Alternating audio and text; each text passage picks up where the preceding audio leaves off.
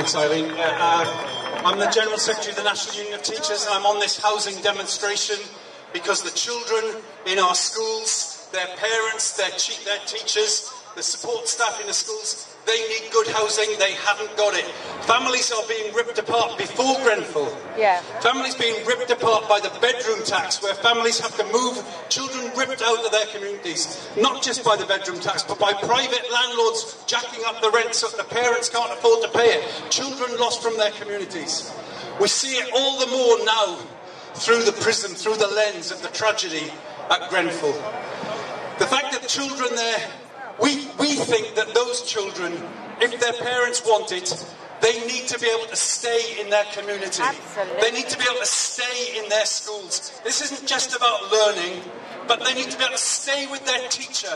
They need to be able to stay with their classmates. You can't pile tragedy upon tragedy, and as well as being a survivor from that horrible event, them being ripped out of that. So they need to be able to stay, and we've written National Union of Teachers, along with the Association of Education Psychologists, the ATL, and the NAHT to government to demand that people are, are staying there permanently for as long as they want and staying in their school communities.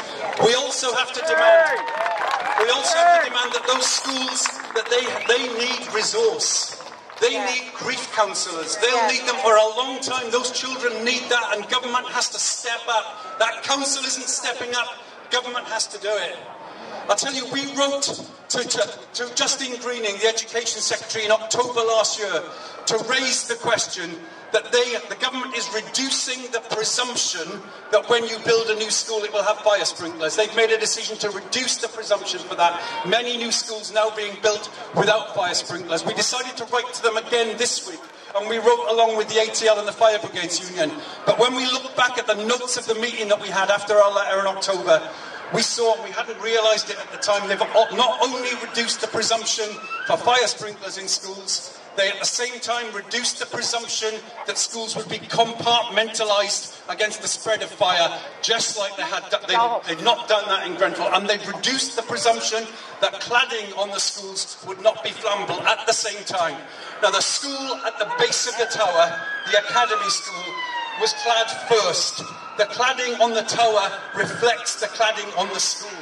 These things can't be divided up one against the other. We need safe schools, we need safe housing, and we have to fight for it now. And I tell you, you cannot believe one of the reasons that house prices are going through the roof, which creates the space for private landlords to jack up the rent, one of the reasons for that is the multi-millionaires worldwide buying property in this city for speculation.